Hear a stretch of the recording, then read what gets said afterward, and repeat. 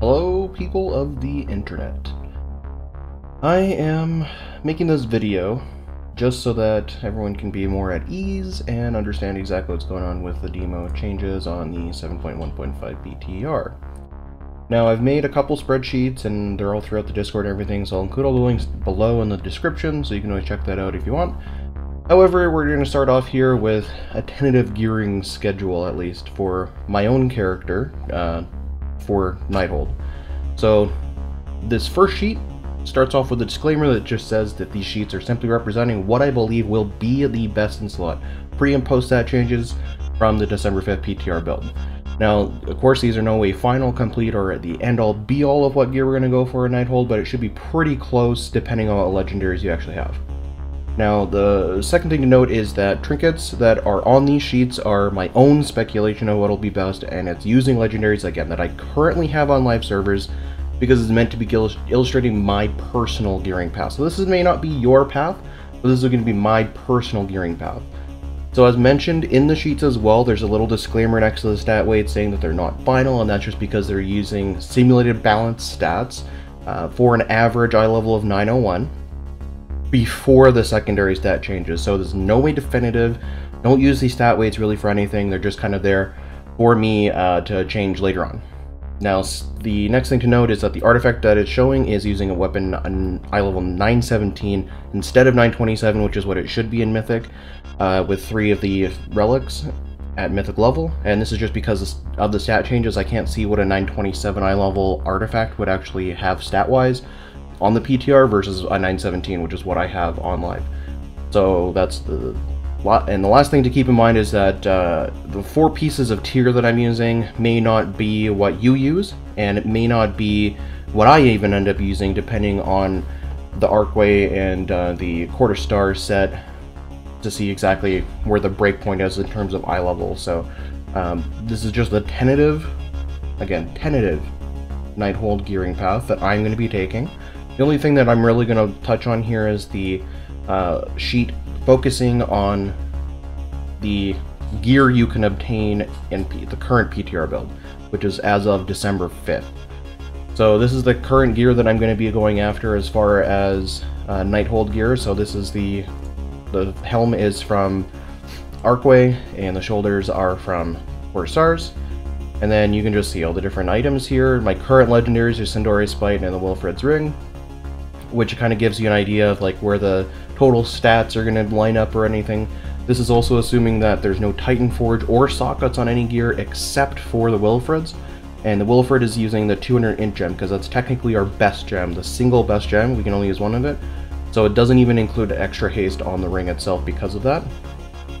Um, average eye level 901. Artifact weapon is 917. You can see the relics on the side here as well. We There's two Infernal Furnace relics and one Summoner's Prowess products that we're going to be end up using. So that's kind of where you're mostly going to be looking for in terms of gear. And again, the, the last thing I'm just going to touch on real quick on this sheet is that the Erratic Metronome and Pharamere's Forbidden Grimoire are just my own guess as to what's going to be our best, just based on the effects and the stats on the trinkets. Uh, so that's everything I'm going to touch on here for this first sheet. Going to close that off. The next sheet here that I have open is showing the difference for the Thalkiel's consumption uh, calculator that I currently have out. This is the PTR version, just showing the differences between 35% synergy versus 25%, using the helm uh, and the stacks you have with the helm, anything, anything towards that effect. So just to give you an idea here, the current sheet is set up with uh, Grimoire Synergy in mind, so there's no Grimoire Service uh, Felguard being used here at all. Uh, this is the standard single target spec, and currently my stats are all lined up or entered into the sheet here, so I have stamina rating here, Rolling power, I'm assuming that it's going to be up when I'm using Thalkiel's consumption. Uh, if a thousand versatility, I don't have any extra summer power relics. So with everything all, all in a, all taken into account here, sorry, uh, my brain is dying. Uh, without the helm buff here, my current Thalkiel's consumption with my primary Felguard, two Dreadstalkers, 10 Wild Imps, and one Doomguard out, that assumes that I will have a Thalkiel, Thalkiel hit not a crit, just a hit of 920,485.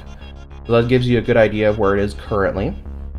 Now in my current gear, if I were to add bracers and synergy Um, at 35%, just to give you an idea, it would hit for 1,000 or 1,615,451 or 2. And with a 25% nerf, that goes down by about 120,000. So you can see it here. It goes down to 1,495,788 damage. So that gives you an idea of the difference between Thalkiel's consumption. It's about 120k thousand, 120k thousand, 120,000 damage uh, from 35% to 25%. So it's not really that huge of a deal for Thalkiel's, and it kind of is the same throughout the across the board. Thalkiel's is really like our biggest hitting ability, right? So that's the the best metric I can I can think of to use really. So obviously everything else is going to be affected, but it's not really going to be like a huge margin or anything like that. Um, so that's the first thing to note.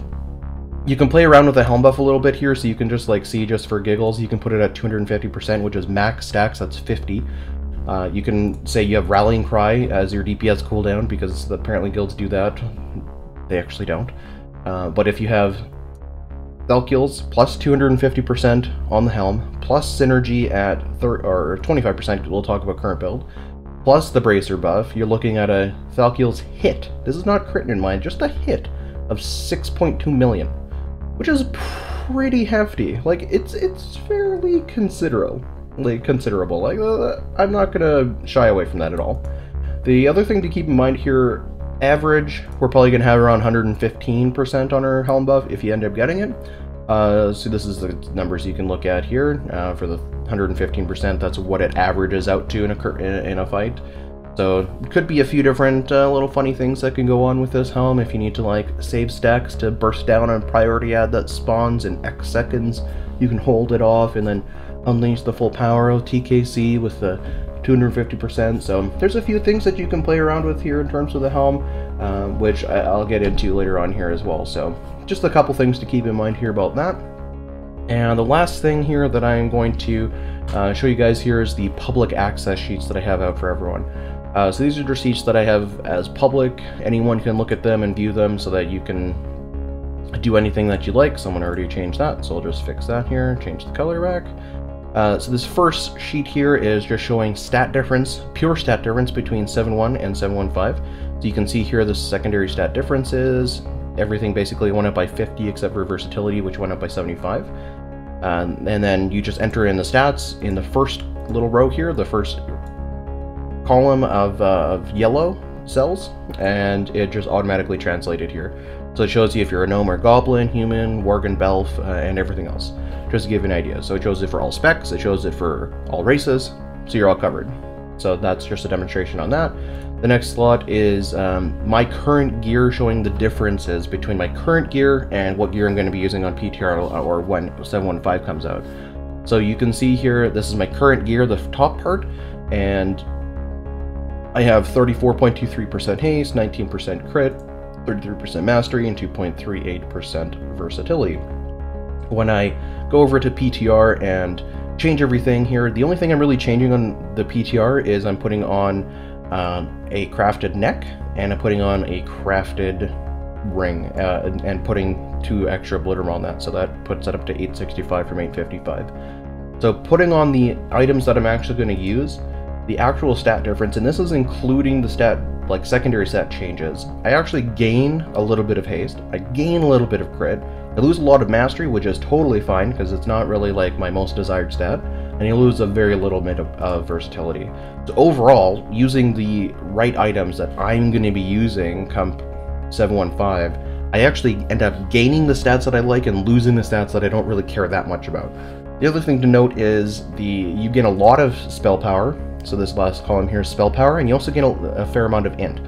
So you're gaining about, about 500 or yeah 400 int, 500 int almost, and you're gaining almost mm, how much? That's like 700 spell power. So it's nothing to be like mad about. Like the secondary set changes are actually in your favor, assuming you have like the crafted gear available to you or things about that nature, like other high uh, dual stat items.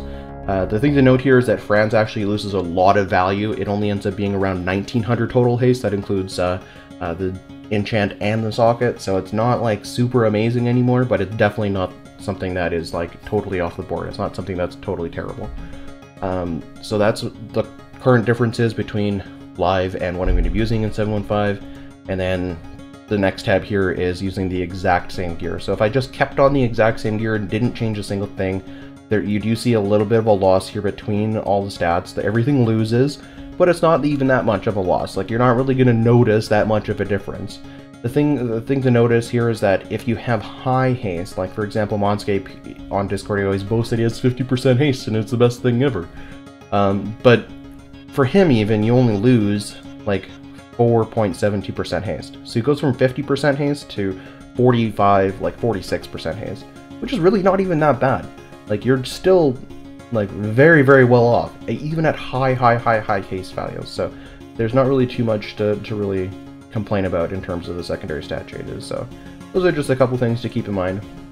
The other thing to keep in mind here uh, is that if we go over to our PTR here, uh, you can see just a few things here. First off, let's go to Raid Talents. So Synergy is at 25%, Grimoire of Service, obviously, it comes into contention here, actually. So Grimoire Supremacy is still really bad, uh, probably wouldn't use it ever, just period. So it's really going to be between uh, Synergy and Service. Um, the difference here is that on this current build, uh, all of your primary pets, that includes Felguard, Succubus, Voidwalker, Felhunter, Imp, those pets got buffed by 20%, so they do an additional 25, or not 25%, sorry, 20% damage. So every every primary pet, and this includes the pet that is summoned by Grimoire of Service. So it actually is considerable, like it's a considerable buff to this to this talent, which is not something to be mad about whatsoever, even with the Grimoire of Synergy nerf. Um, so really, this this ta talent here comes down to comes down to these two talents: Grimoire Synergy and Service. It'll kind of flesh out. It'll probably even out about equal, I would imagine, depending on the scenario. So, not something that uh, you should really be concerned about. Other thing to take notice of is the impending Doom change, obviously. Uh, Doom deals damage 3 seconds faster and it summons a 1 wild imp when it deals damage, so let's change from live. Uh, now if we just go over and spec that, what it used to have is calculate the haste after, uh, after your, or sorry, calculate the minus 3 seconds after haste.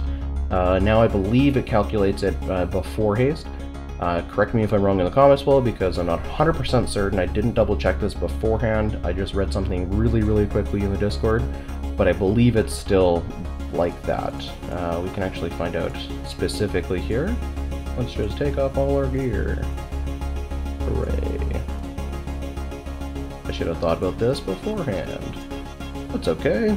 Alright, so I'm fully naked, I have 1% haste, and it is at 16.8. Uh, now, Doom is 20 seconds base duration, uh, so that just means that it calculated the haste first, which would put it at 19.8 20%, or 20% haste, and I have 1%, so minus 0.2. Uh, so that would be 19.8 minus 3. It's just a flat 3 seconds, so it's calculated after your haste now, instead of before, which made it a lot better. Um, so that's the last thing to keep in mind, uh, or about that talent in particular. And the final thing to think about here is our tier set. So our tier set, let's just put on all that tier set. First off, I don't think looks horrible, but it definitely looks kind of ugly, so that's my own personal opinion on that. Uh, the set bonuses here, Doom has a 50% chance to generate an additional soul shard, so real quick on that 2 set here, it is okay, it's definitely not going to be horrible by any means. However, uh, in AoE situations, it's definitely going to be a little bit, uh, a little bit annoying. You're going to be overcapping your shards quite often with that.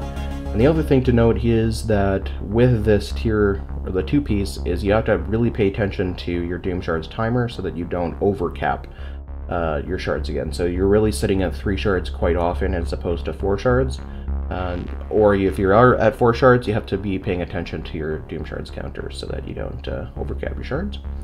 And the four set Dreadstalkers last an additional four seconds, uh, so four seconds longer which just basically means that instead of there being downtime on your Dreadstalkers, it's a 15 second cooldown and they last for 16 seconds. So the cast time uh, plus that extra duration basically just means that they're going to be up for like 95% of the time instead of uh, instead of having that lapse in Dreadstalkers. It just makes casting Dreadstalkers even more important, which is something that I've always tried to reinforce. Uh, so those are basically everything that I wanted to quickly touch on for this video. Ended up being a little longer than I wanted to, so I'm just going to end it here. Um, keep looking out for other videos, and if you want to get in contact with me, I'm always on Discord. You can always hit me up there. Uh, you can find me on MMO Champion. You can find me on my stream randomly whenever I stream. And uh, yeah, that's it. I'll talk to you guys later.